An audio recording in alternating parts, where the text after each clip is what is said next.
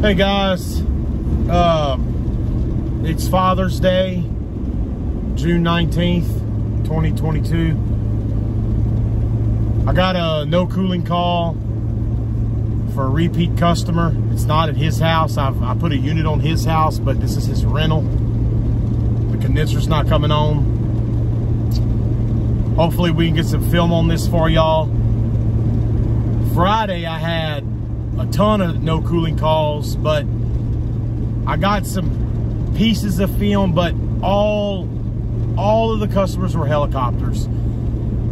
And there's just I couldn't have put together a good video because I had one little piece on this one, little piece on that one, y'all wouldn't even understood what was going on. So hopefully this one will not be a helicopter and we can get some some some film on it, but and I just wanted to say happy Father's Day to all the fathers out there. So we'll, uh, like I said, I hope we can get some film. Let's see.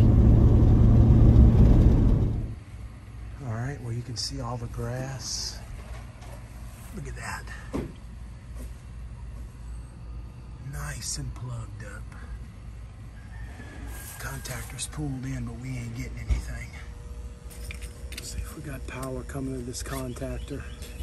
Might have a bad contactor.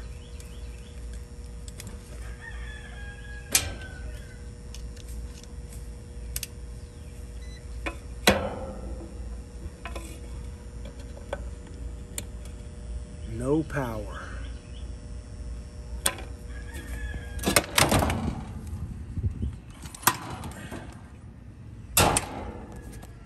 No power coming to the contactor. All right, let me get in here. All right, so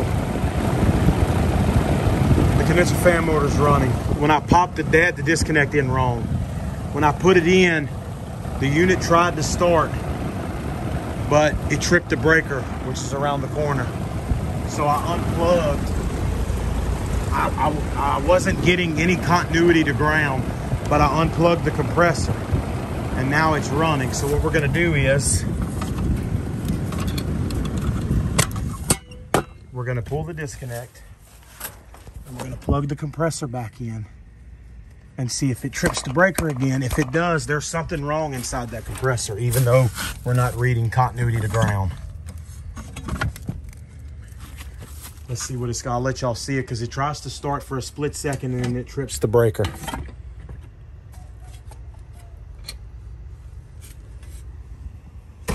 Yep, it tripped the breaker again. I'll show y'all.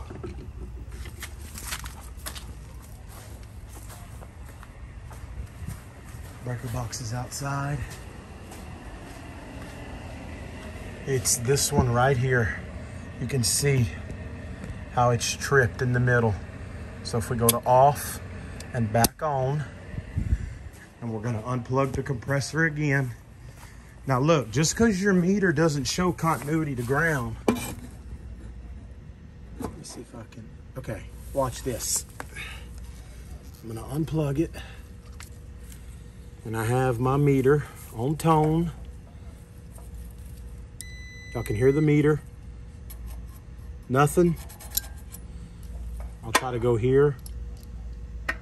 Nothing, nothing, nothing. Now let's read ohms to ground.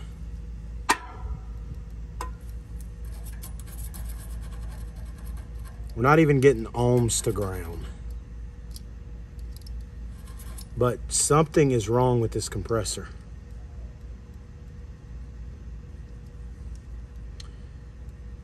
One point seven. 2.9 1.3 that one's all over the place so now watch when we put the disconnect back in it'll run.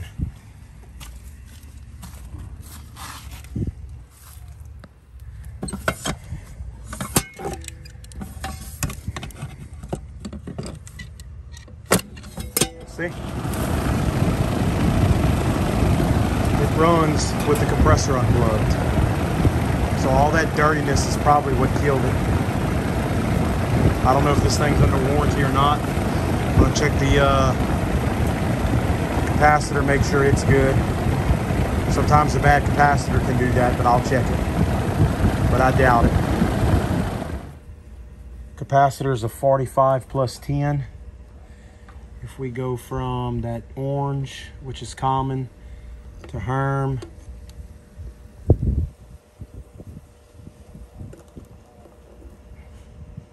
Forty-five. Capacitor's good, and it's got a brand new hard start on it. So we'll either be swapping out a condensing unit over here or changing a compressor and cleaning it if it's under warranty. I don't know why I pulled that one common off. I wasn't thinking.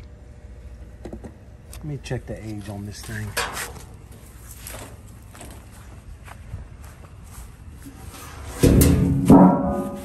Oh, I just dropped the screws. It's 2012. There ain't gonna be no warranty left on this machine.